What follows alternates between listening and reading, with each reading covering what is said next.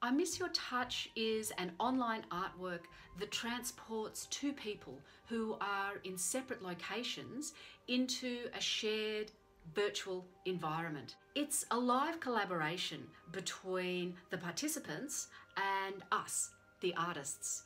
In March 2020, we saw the need for people to have more physical and social engagement because we were facing home lockdowns and new physical distancing rules due to the pandemic.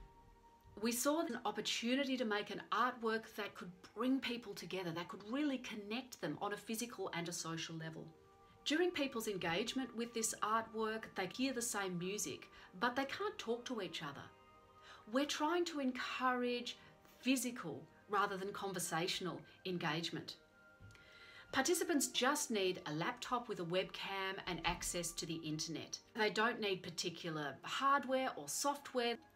They just book a time and we email them a unique URL.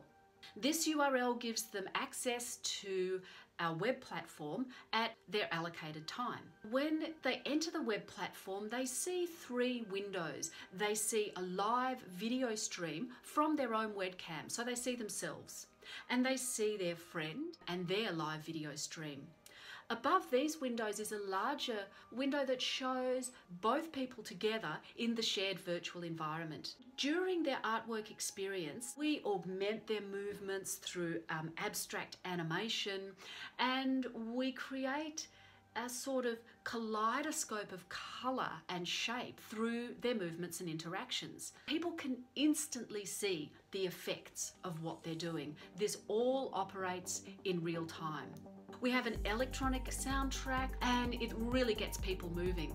People often shake hands with each other and hug each other, and this is all in a virtual environment because they're in separate locations. Some people have said that it feels like they're actually physically together in the same place as their friend. The thing that I've missed most over 2020 is human touch. I miss shaking people's hands. I miss giving my friends a hug.